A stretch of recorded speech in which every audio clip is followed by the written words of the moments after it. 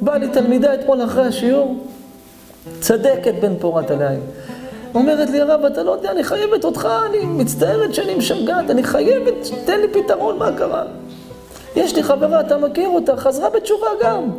אבל באמת תשובה, שנתיים, תשובה בן פורת יוסף. בעוד שלושה, לפני פסח, יש לה חתונה.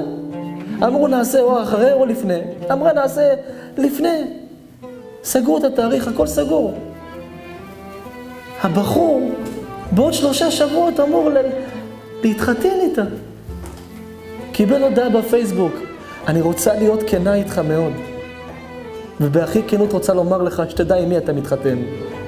אתה מתחתן עם פלונית אלמונית.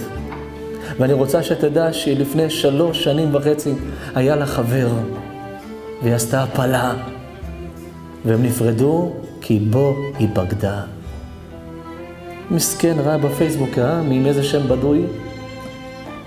בא אליה, אמר לה, חיים שלי, כפרה עלייך, אני קיבלתי הודעה, אני לא יודע, לא, לא, תגידי לי שזה לא נכון. היא הסתכלה, התחילה לבכות, היא אומרת לו, מאיפה קיבלת את זה? אומר לה, קיבלתי את זה מהשם, ככה, פלונית אלמונית, תגידי לי שזה לא נכון. היא אמרה לו, כפרה עליך, אני לא רוצה לשקר לך. אני חזרתי בתשובה מאז. שיניתי את כל החיים שלי מאז, אני, זה לא אני, זה מה שהיה פה, זה מישהי אחרת. אני סבלתי ממנו, הוא היה מרביץ לי, הוא היה מכה אותי, הוא היה, הוא היה מתעלל בי. זה לא אני, נשבע איתך, אני, לא, אני, אני, אני, אני, אני עברתי טיפולים לשכוח ממנו. הוא רמז את הכבוד שלי, הוא קרא לי אפס. הוא קרא לי בשמות של פרוצה, של... הוא, הוא הרמ... חזרתי בתשובה, זה לא אני. עשית הפלה או לא עשית?